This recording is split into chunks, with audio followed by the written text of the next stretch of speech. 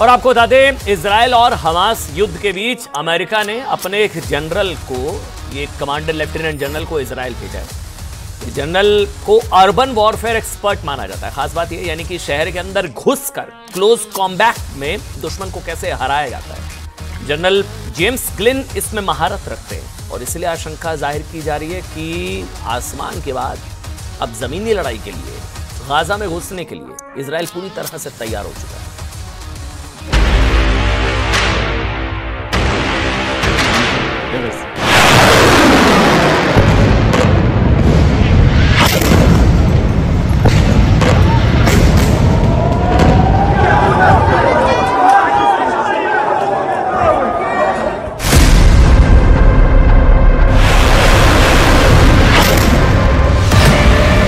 पहले कत्ल किया फिर घर फ़ोन किया।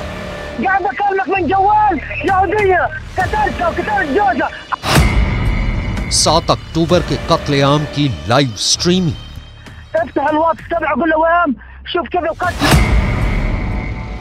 नरसंहार की कहानी, हमास आतंकी की जुबानी।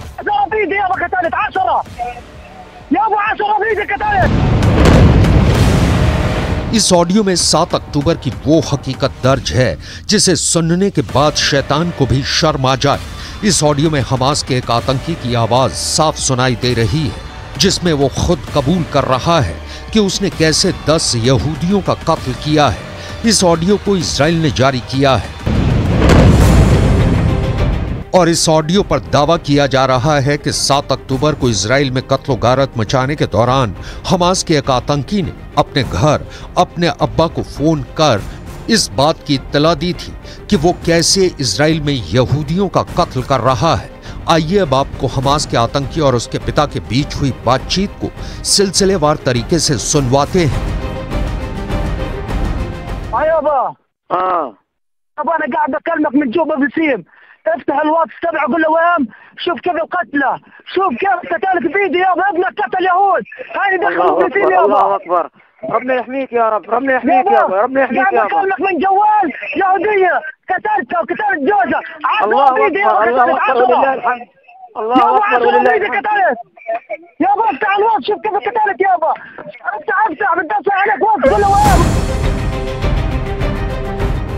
कुछ सुना आपने हमास का एक आतंकी इसराइल में बेगुनाह लोगों की जान लेने के बाद कितने फक्र से अपने पिता को ये बात बता रहा है कि उसने दस यहूदियों का कत्ल किया है।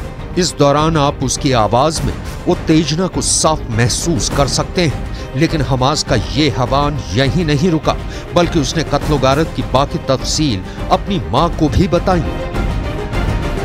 आशरा, आशरा, आशरा,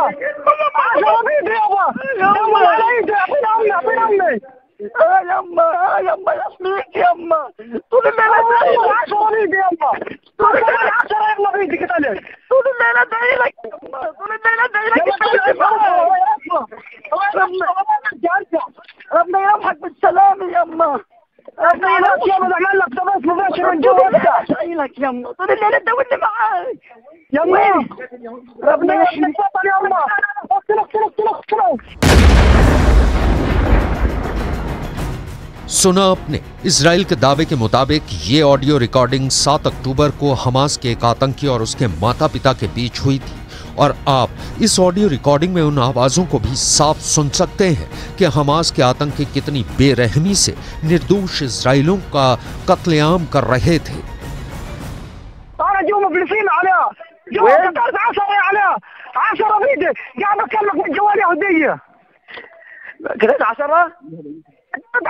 10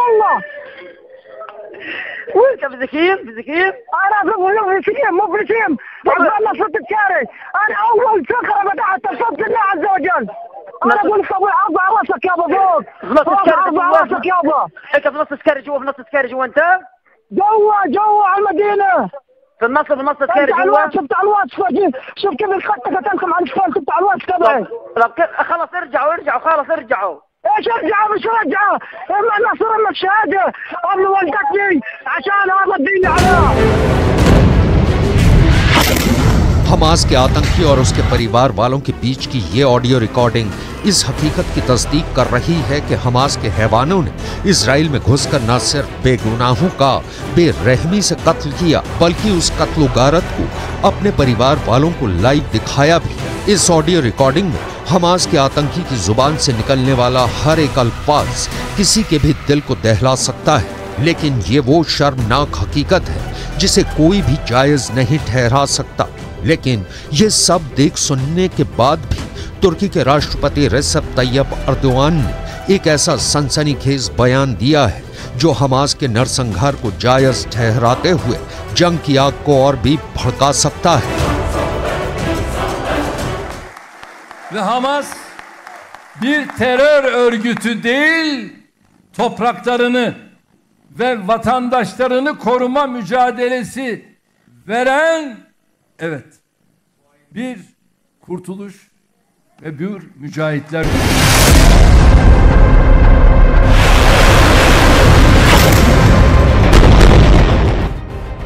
मतलब साफ़ है कि हमास और इसराइल के बीच छिड़ी जंग की आग अब वेस्ट एशिया में फैलने लगी है।